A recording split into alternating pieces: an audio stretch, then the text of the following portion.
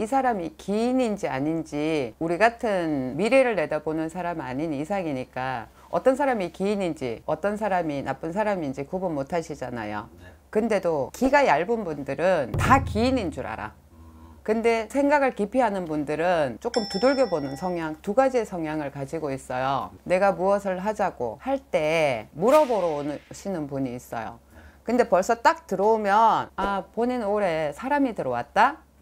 네. 라는 걸 먼저 얘기를 해요. 네. 문서운이 있네. 근데 누가 동업하자고 들어오지? 그러면 깜짝깜짝 놀랄 때가 있어요. 네. 그럼 저는 오래 해도 됩니까? 어, 하셔도 돼요. 근데 이 사람 주변에서 따라 들어오는 사람을 조심해라. 본인들은 알 수가 없어요. 기인이 들어오는 경우. 그걸 쉽게 말하면 운이 들어올 때는 사람이 먼저 들어와요.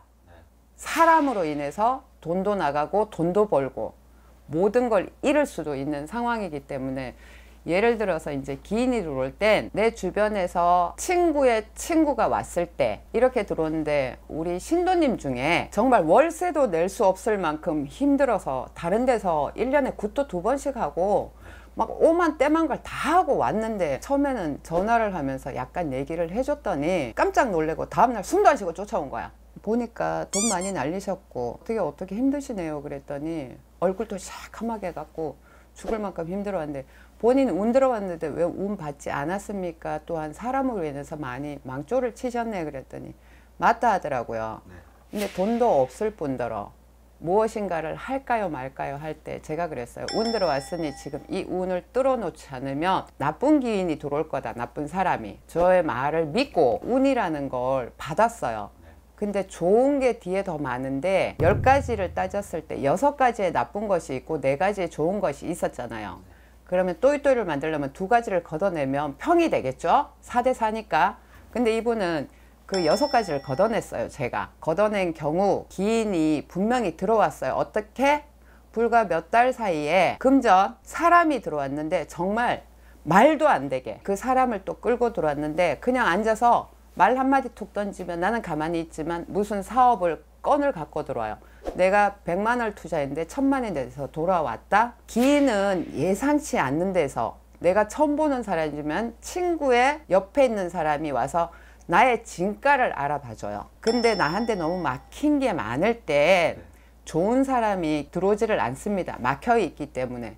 그래서 본인들은 모를 거예요. 근데 운이 들어왔다, 기운이 들어왔다 이럴 땐 어디 가셔서 한 번쯤은 물어보시는 것도 나쁘지 않아요. 무조건 이 사람이 와서 사탕발림이라 그러죠. 그 말을 너무 귀담아 듣지 마세요. 분명히 또 쏘가.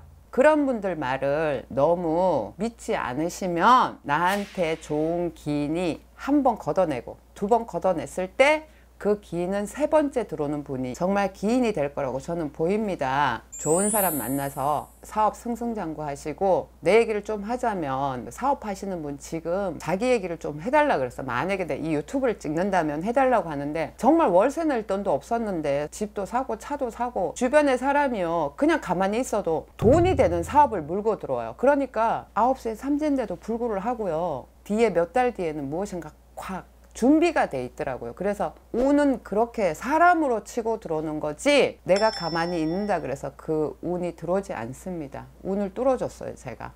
그럴 때 정확하게 나한테 기인이 들어왔다고 볼 수 있습니다.